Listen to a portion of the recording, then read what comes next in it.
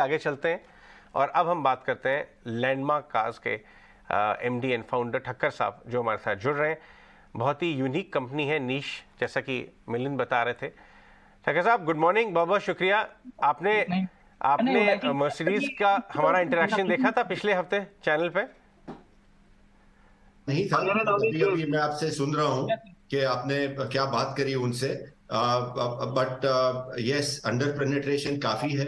और हेडरूम यहाँ काफ़ी है। ये मुझे तो समझ में आ रहा है कि ये जर्नी अभी अभी शुरू हुई है।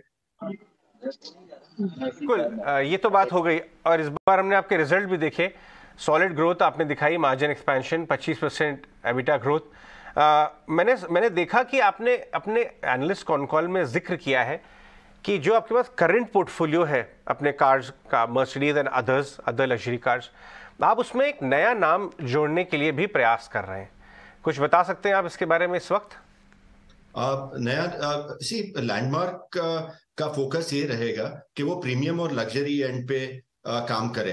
एंड हम जान रहे हैं हम जानते हैं कि इंडियन मार्केट वो प्रीमियम की तरफ़ बढ़ रही है। In the last five years लगभग 20 टका मूवमेंट हुई है वो जो टू बॉक्स कार जो जैसे एंट्री लेवल कार हम मानते हैं, जो दुनिया में ज़्यादातर लोग नहीं पसंद करते हैं तो Indians are also moving away from that तो there is been a significant twenty percent shift so Landmark का फोकस ये रहेगा कि प्रीमियम एंड लग्जरी सेगमेंट में ही काम करे। और उसी में हम ऑर्गेनिक और इनऑर्गेनिक अपॉर्चुनिटीज़ देखेंगे।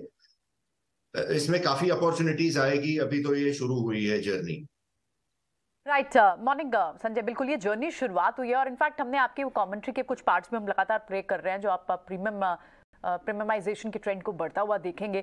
Uh, एक और बड़ा फैक्टर ये भी है क्योंकि जितने भी ग्लोबल ओ प्लेयर्स हैं वो भी आप कहीं ना कहीं इंडिया को एक प्रोमिनेंट मार्केट देखते हैं। और as as we just share की अभी भी बहुत अंडर पेनिट्रेटेड है तो कितना बड़ा लॉन्च शेयर आपको आगे आने वाले समय के लिए दिखता है? आपने ये सही बात करी। ग्लोबल जो ओईज है all of them are now so focused on India अभी आप एक के बाद एक अनाउंसमेंट देखेंगे। अभी मैंने दो तीन दिन पहले पढ़ा रेनो और निशान ने भी कुछ 600 मिलियन डॉलर का इन्वेस्टमेंट अनाउंस किया है।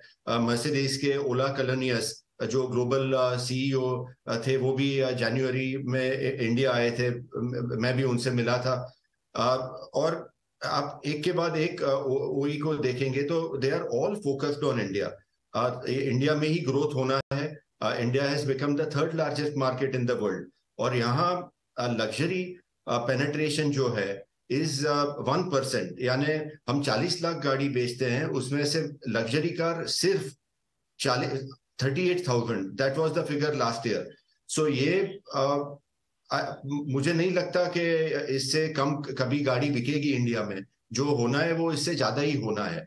सो so, सभी का फोकस इंडिया है और as the largest player for practically all the players that we partner with whether it is Mercedes Benz Jeep Honda Volkswagen BYD तो हमें ये लगता है होंडा तो ये लगता है कि ये uh, बहुत ही उम्दा समय है to be in business and uh, कई सालों तक ये ग्रोथ uh, होती रहेगी।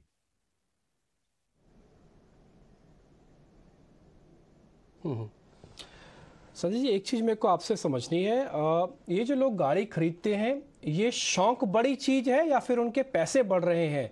क्योंकि आप एक ऐसे सेगमेंट को डील करते हैं ना वो बिल्कुल क्लियर फ़िल्टर है। सबसे बेहतरीन तरीके से बताता है। तो शौक बड़ी चीज़ है या फिर पैसे बढ़ रहे हैं? कई चीज़ें साथ में हो गई है। मैंने एक प्रोग्राम में बोला था कि देर इज़ एक कोविड में लोगों को एक योलो एक नया हमने एक्रिनोम डाला था यू ओनली लिव वंस वो भी एक हो रहा है। देर इज़ ऑल्सो सेफ्टी अपने देश में कई रोड बन रहे हैं। अब अभी आप देखेंगे कि मुंबई दिल्ली कॉरिडोर भी चालू हो जाएगा। सो so, लोग अभी तक कोई सोच भी नहीं सकता था कि मुंबई से दिल्ली कोई रोड से जाए। बट अगर वो बारह तेरह चौदह घंटे में हो जाएगा तो कई लोग रोड से भी प्रेफर करेंगे जाना। So road travel is gathering momentum people want safer and more luxurious cars more comfortable cars so जैसे रोड ट्रैवल बढ़ेगा जैसे अमेरिका में है चाइना में है इंडिया में रोड ट्रैवल इतना है नहीं।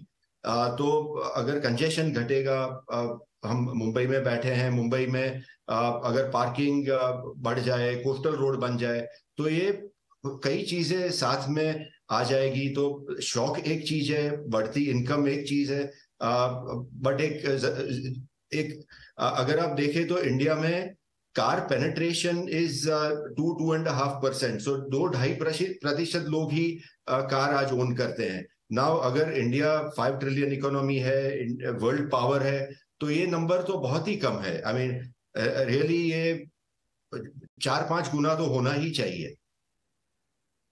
मैं आपको बता दूँ फीडबैक कि काफ़ी फंड्स भी ये सारी बातें देख के आपके स्टॉक की तरफ़ बहुत पॉजिटिव व्यूज़ रख रहे हैं। मैं ला नहीं पाया, लेकिन पिछले ही हफ़्ते गौतम त्रिवेदी हमारे शो पे, इसी शो पे बातचीत करते हुए नज़र आए थे और काफ़ी पॉजिटिव फीडबैक आपकी कंपनी के बारे में दे रहे थे। ऑफकोर्स रिजल्ट्स के बाद।